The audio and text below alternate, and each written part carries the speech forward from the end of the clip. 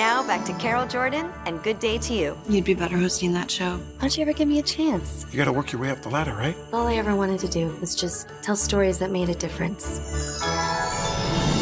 Your Royal Highness. Now, what I need is a little excitement, something to shake me out of this royal spiral.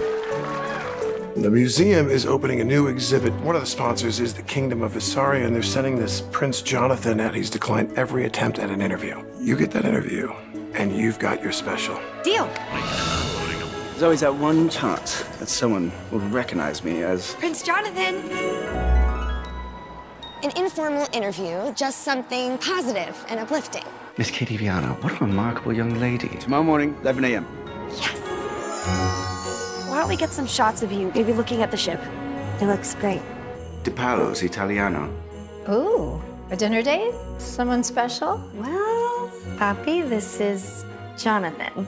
He is so handsome. And that accent. I have a confession that I need to make.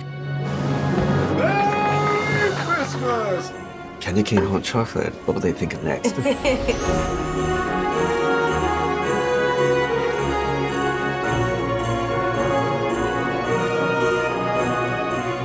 Merry Christmas, Katie. Wow.